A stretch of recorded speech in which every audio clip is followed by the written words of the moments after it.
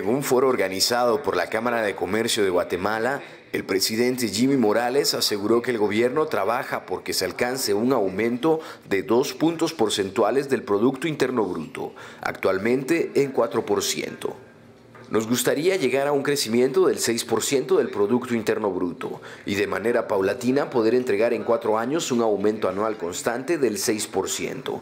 La ruta para el objetivo será la apertura a nuevos mercados, la búsqueda de inversión en el país, la promoción del territorio en temas turísticos, rescatar la infraestructura portuaria y de aeropuertos, así como la industria de la construcción. Para Jorge Briz, presidente de la Cámara de Comercio, el empresario requiere de reglas claras, de una legislación que promueva la inversión y el desarrollo. Asimismo, promover una reforma física integral que facilite a los contribuyentes su incorporación y tenga tarifas accesibles, competitivas y razonables. El gobernante se comprometió a abogar por 250 millones de quetzales para fortalecer el sistema de justicia, además de trabajar por la reforma del sistema penitenciario, particularmente en lo relacionado con el hacinamiento.